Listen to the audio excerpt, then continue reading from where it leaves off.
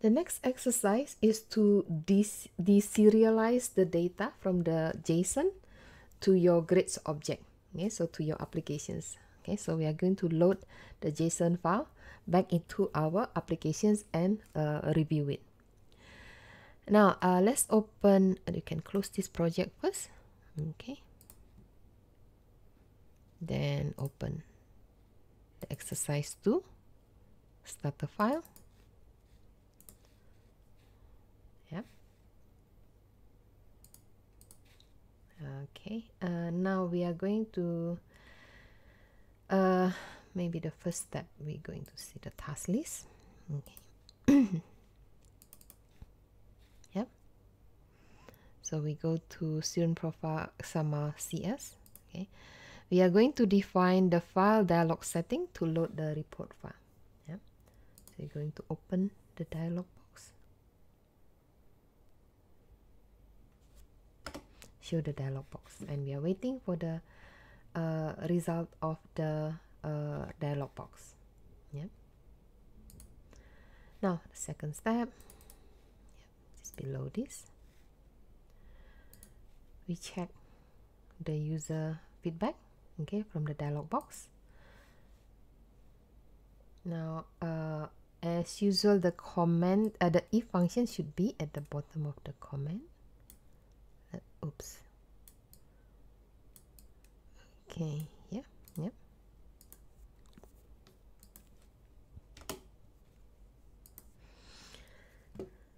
Okay so done. The next one. We are going to read the report from the disk.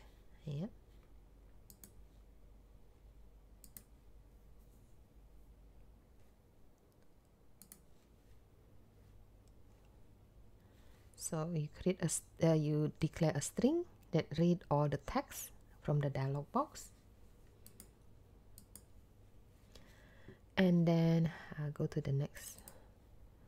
Okay the next step is to deserialize the object. Okay as json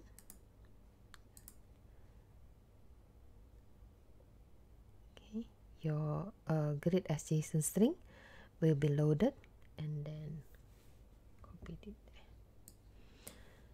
now let me make sure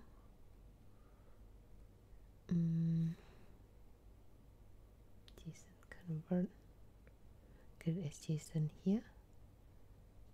JSON convert doesn't exist Newton JSON hmm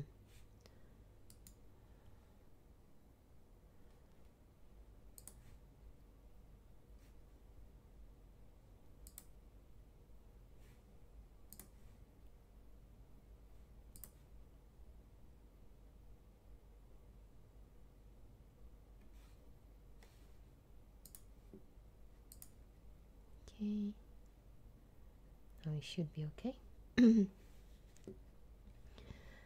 So uh, that is done. Variable yep. So the next step so let's go back to the task list.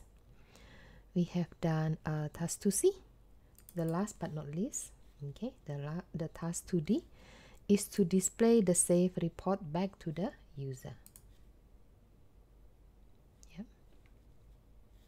it done. Okay so build build the solutions. Okay so make sure it's successful. Run without debugging. Put your username maybe same I use the vallee password 99 log on. Okay I'm going to check Liu again. Now load the report okay see? The one that you make changes on the json file just now is loaded back here. Okay that's it